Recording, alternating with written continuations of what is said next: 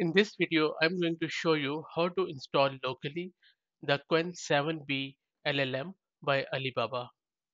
This Qwen 7b is the 7 billion parameter LLM created by Alibaba Cloud and it's a transformer based large language model which is pre-trained on a large volume of data including publicly available web text, books, codes and a lot of other things.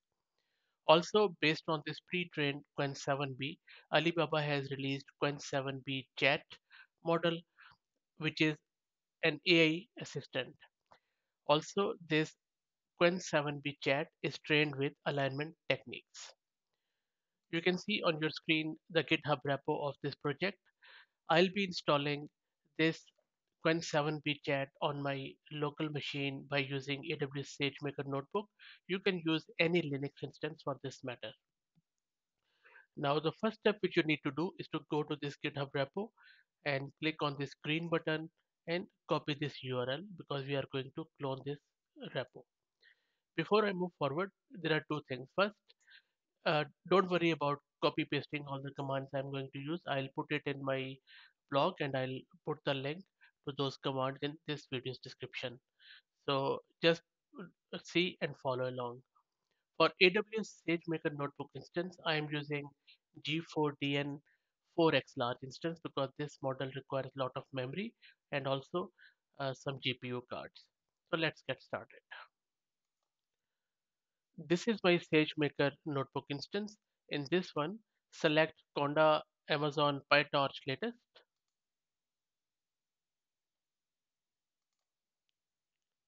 Let me change the theme to a better one so that uh, it will be more visible. Let's go with a dark one. Okay, much better. Now on the left hand side, click on this git icon, clone a repository and paste the link which, which we just copied. So it will clean, uh, clone the repo here like this has already done Qwen 7b. Now cd to this Qwen 7b directory here by using the cd command there you go so we are now in the cd command. Next we need to do is to install this transformer package. So pip install transformers. Let's run it and wait for it to finish. Shouldn't take too long. Transformers package is installed. Let's install rest of the requirements which are in this github repo. Let's wait for it to finish. It will install a lot of things but shouldn't take more than two three minutes?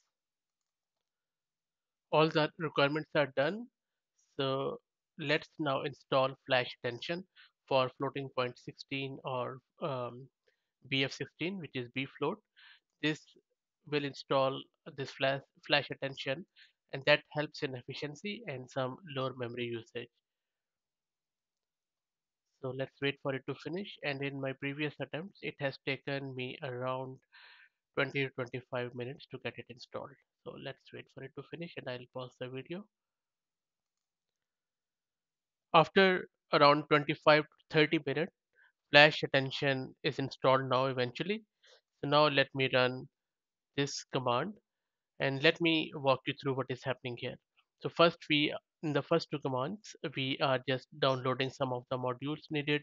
In the third one we are initializing the token with this qwen 7b chat model and then we are setting our efficiency uh, whether it is and we are just giving it auto whether it is um, floating point bf or whatever it will just select automatically. And then from there we'll be generating the config.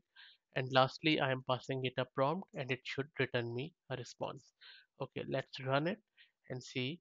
Uh, it should again take some time because it will download the model uh, which is around 16 GB I'm running it now.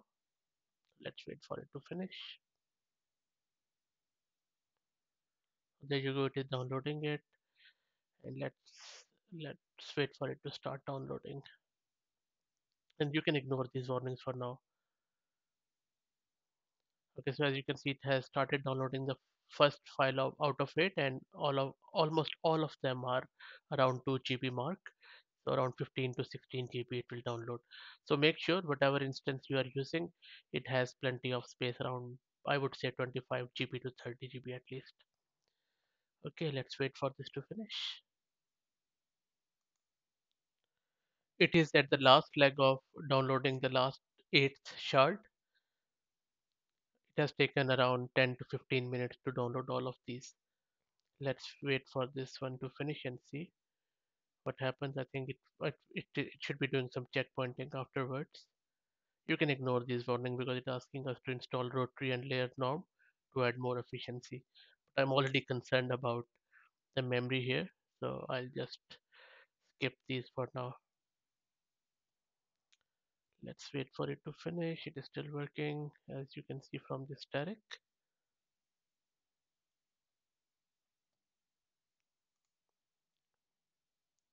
It is doing checkpointing now. This is fairly quick operation. And now it is setting up the configuration after download. Okay, it has, as I was expecting a bit, it, it has run out of mem memory at the last command. So it seems that even the 4x large instance is not enough for it. I would need someone somewhat higher. Um, but anyway, I will upgrade my instance when I have access to it and uh, recreate from this step. But let me show you what it has done so far. So it has failed around this step where it was generating the config. So pretty much if you have access to the powerful instance um, which has sort of if we talk about in terms of AWS EC2 instances like G4 or G5, 8x large or even 12x large, that should be good enough. But we definitely need a very powerful instance for it or a server. So if you have access to it, this should work with these commands because this was the last leg where it ran out of memory. Afterwards, once once this step is done, you can just uh, use this these prompts to ask it question and chat with it, and it should return user responses.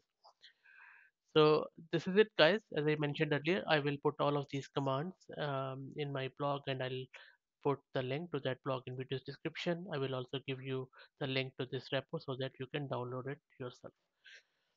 Thanks for watching, and if you like the content, please consider subscribing to the channel. Thank you.